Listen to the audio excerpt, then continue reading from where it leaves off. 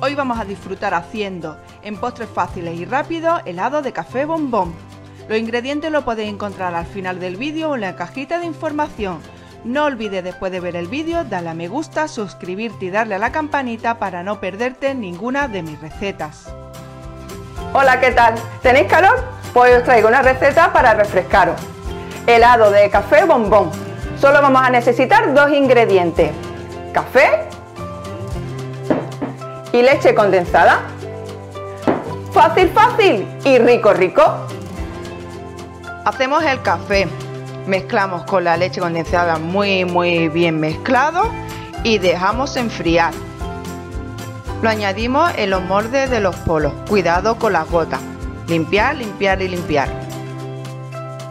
Lo metemos en el congelador aproximadamente una hora y media. Le ponemos los palos que ya se mantendrán en pie.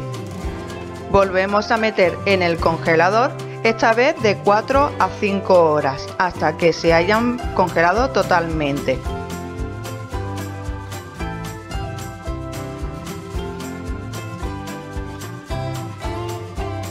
Solo queda desmordarlo y comerlo.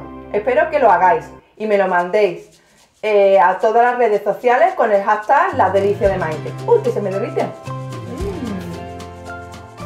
Aquí tenéis los ingredientes para poder hacer estos helados de café bombón.